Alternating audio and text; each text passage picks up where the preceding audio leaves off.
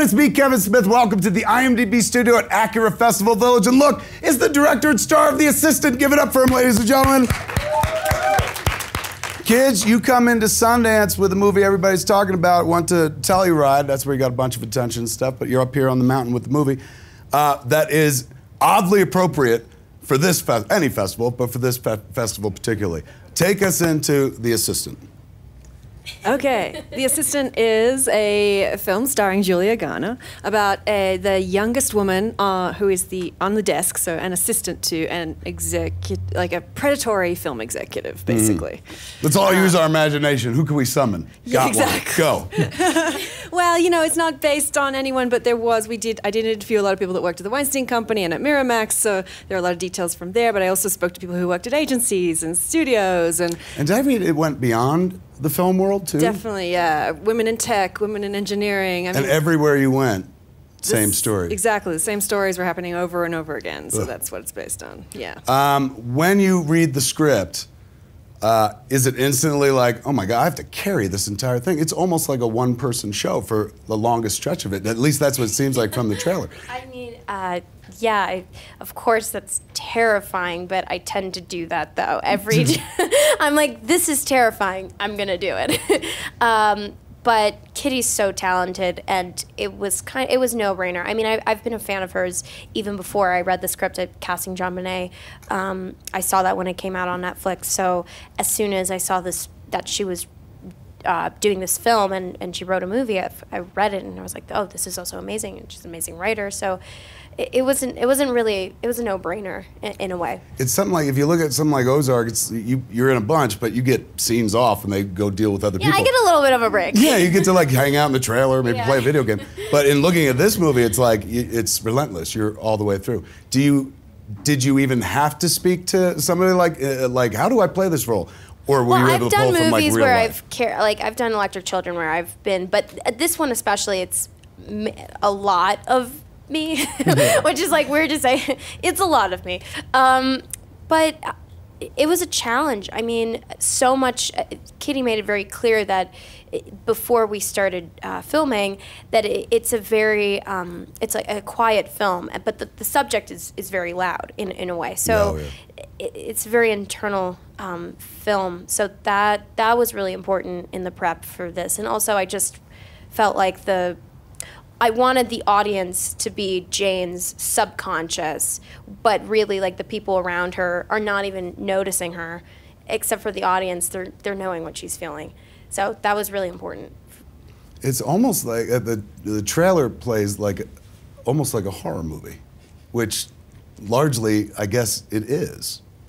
I mean, yeah. I mean, yes. I, I wouldn't call it a horror movie or a thriller or all these kind of words people attach to it. Unsettling, unnerving. Yeah, it's about. There's a lot of tension. It's sort of. It's filled with tension. It's about sort of one woman's day and in a very uncomfortable situation in a very toxic work environment. Hmm. So, and it is kind. I guess I didn't want to lean into those tropes. I wasn't trying to sensationalize because it is about such delicate subject matter. Right. You don't want to turn it into like it's a genre thriller at the end of the day. She's got to kill the guy. Exactly. Right. It would have been very wrong. And I just felt like in order to do this right, um, like we had to really be delicate about the way we approached it. So yeah, while it does have kind of echoes of whatever horror movies, there's pieces, there's things there that are pretty horrific. Yeah, it's sort of, it is its own thing. I'm gonna not give it a genre. And I think too, where I pull the horror element is because at least that's what I get from the trailer, and then people who've seen it talk to me. Do you ever see the the executive, the the figure? No. Why? What a like great choice. Why? Uh, well, firstly, bad men have had enough screen time. That's my reason number one. That's Uh, awesome. Reason number two is we know what happens behind that closed door. Um, like we've read about it in the news. We know what's going on when he's leading a pretty actress into that room. So Right.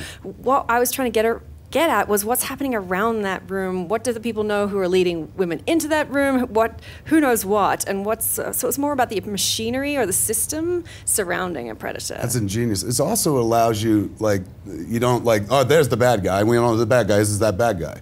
You could put anybody in that room. I would imagine if you're watching the movie. Completely, yeah. It also makes it more relatable. I mean, I think sometimes people, especially being in the film industry, they were like, "Oh, it, it, it's the whole world is not just Hollywood. Right. It's not just you know." So anybody watching the film is, yes, it takes place in a pro, uh, production office or whatever, but it's they can relate to it more if it's not just someone specific in a way. In getting ready for this, uh, I read that you you know you were working on a documentary, and then the story, the Me Too story, broke, and then you were like, I'm going to do this instead, and shifted to narrative.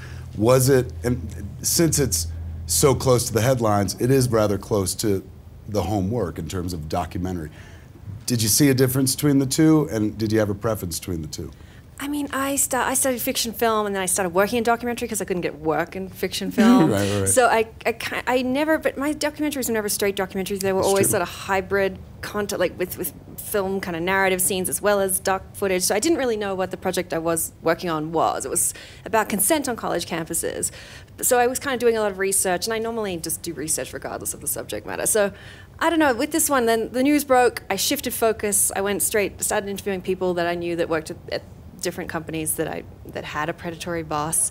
Uh, and yeah, and I don't know. Partly, I was thinking that a documentary. I mean, you, we've sort of seen, we've read a lot about this subject, but I really wanted people to like emotionally identify with a character in this subject, especially somebody who is has very little power, who is sort of at the bottom of the, the kind of hierarchy, really. So rather than looking at this top down, I want to look at it sort of bottom up. Like, how can we get more women into the film industry, not just get the top, the men out, out or at the top. So Smart. Yeah. I when I saw the trailer, uh, the thing that uh, chilled me probably was like, my lord, it looks like Miramax.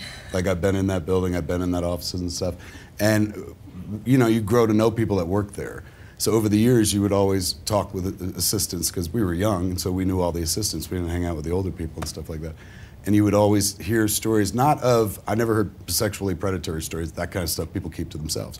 But there were no end of stories about like, oh, he threw a can of Diet Coke at my head today, mm. and you remember being like, what?